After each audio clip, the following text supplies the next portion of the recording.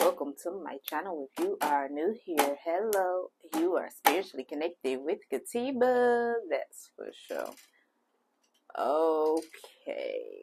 Look. the end of a tough cycle is approaching. You felt like this was just, this is just too much. But one thing for sure, two things for certain, you always get through it God always make a way for you. God always get you about them slumps.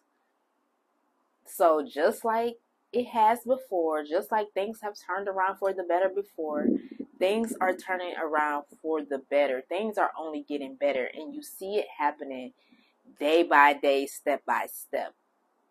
The end of a tough cycle is approaching and it's already in the works. It's already in the works. You already see certain things progressing in a more positive way, you already see you already see the light at the end of the tunnel. now you know which way to go. You're getting a clear vision on where you want to go, what you want to do, who you want to be. You are. uh, the end of a tough cycle is approaching. Things are getting better finances are getting better, your health is getting better, your mindset is getting better. That's something to be grateful for in itself. First and foremost, be grateful for everything that you have at this moment. Because without gratitude for that, the universe isn't going to bless you with more. So be grateful for what you have. And secondly, work towards what you want. Sometimes you have to pull yourself up out the slump. Sometimes you have to have a pep talk with yourself. Sometimes you just got to do things, even though you don't feel like doing it. Sometimes you have to do things and give yourself that energy. Sometimes you have to do things because it's because it's self-love. Like you have to take care of yourself. You have to prioritize yourself. Sometimes you have to put other people on the back burner on the back burner to make sure that you are taking care of you because if you don't have nothing for you, then you ain't got nothing for nobody else. The end of a tough cycle is approaching. And it's already here, it's already near. You just don't see the bigger picture yet. You don't see the big picture yet. But things are already in the works for you. Things are slowly falling into place. The pieces of the puzzle are coming together, they are interlocking together.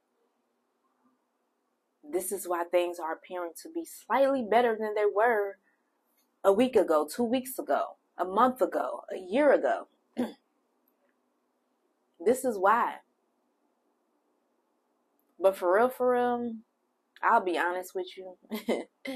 From my observation, it's all a test it's all a test to see if you really about that life. It's all a test to see if you really want, if you really can handle what it is that you said that you wanted. You said that you wanted more.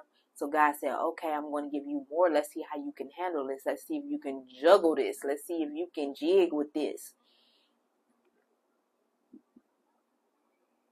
Let's see if you're going to drop the ball this time or if you're going to pick it or if you do drop it that you're going to pick it up and you're going to keep it moving let's see how you really handle this hardship because it may be a little bit harder where God is taking you. And if you can't handle this, then you can't handle what you asked for. There are going to be doors that are going to be opening that you didn't even knock on. The end of a tough cycle is approaching for you.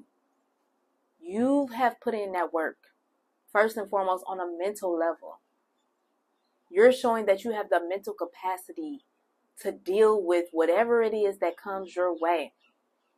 That you're not going to strike out, that you're going to keep swinging. I know nobody wants to be tough 24 7. Nobody wants to be tough all the time. And you don't have to be that. But just know that life is going to happen regardless. Things are not going to go your way regardless. It's all about how you handle it. And that's what's going on right now. You're building your mental strength to be able to handle whatever it is that come your way. To not take things so personal. To not take life so serious. because as things always do, they're going to work out.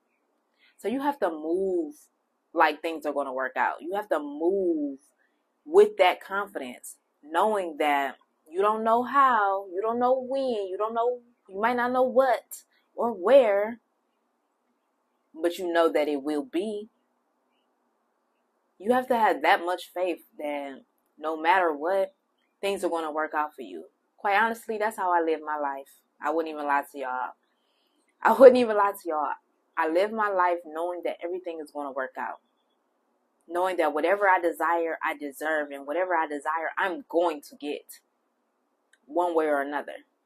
Unless it's absolutely not for me, at some point you can recognize that. But everything that I desire, I deserve, and you have to think like that.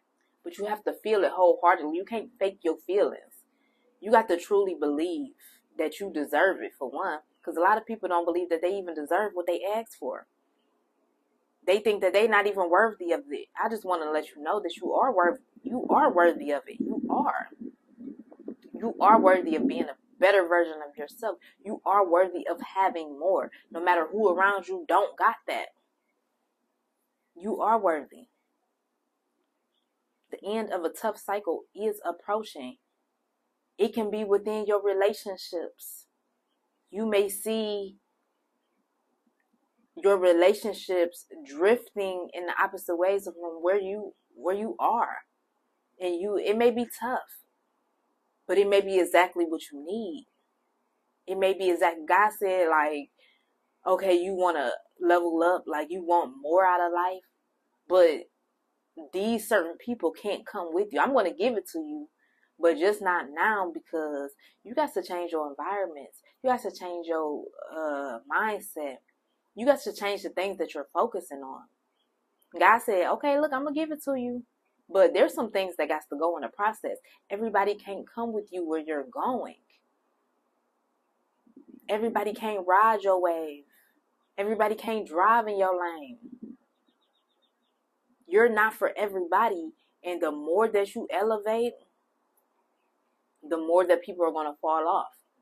And it may suck and it may hurt. The more that things are going to fall off, the more that you're going to gravitate towards new experiences, new habits, new friendships, new family, new love, new vices, new addictions. the end of a tough cycle is approaching, but that plan that pain is going to come before the pleasure. It is going to storm before like it's going to rain before the flowers blossom. You felt like you was in a dark place, you feel like you may be not in the best place. You didn't even realize that you were a seed. You were buried. You're buried up under the ground and right now what's happening? The roots are growing. You're you're growing up towards the light. It's no way around it. The light is there. And you're growing in the direction that you need to be growing in. And it's so much goodness on the other side. It's so much goodness out outside of that dirt. It's so much goodness waiting for you. But you got to trust in the process. You may be thinking like, oh, I don't see it. Oh, it's not here it's not going to always be there for you. That's the thing. Are you focused on it? Are you focused on the light? Is that what you want? Because we all know what you focus on grows. So if you're focused on the darkness, then it's going to take you a little longer. You're going to stay in that darkness a little longer. That's what's going to grow within your reality. More darkness, more dirt. Somebody going to be throwing more dirt on top of that seed. So while you're trying to grow, more dirt is going to be thrown. But if you focus on the light, you focus on the positive, you focus on being grateful and what you have now, more of that is going to come. More light is going to shine. You're going to get there quicker. You're going to get there quicker. The end of a tough cycle is approaching. I'm so happy for you.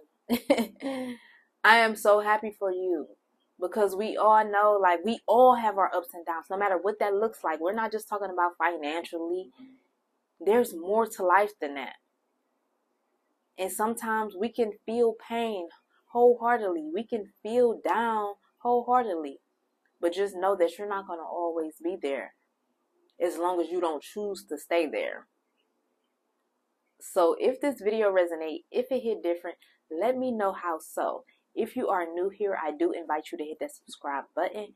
That is all I have for this video. Stay spiritually you, stay spiritually in tune, and I will see y'all on the next one. Peace.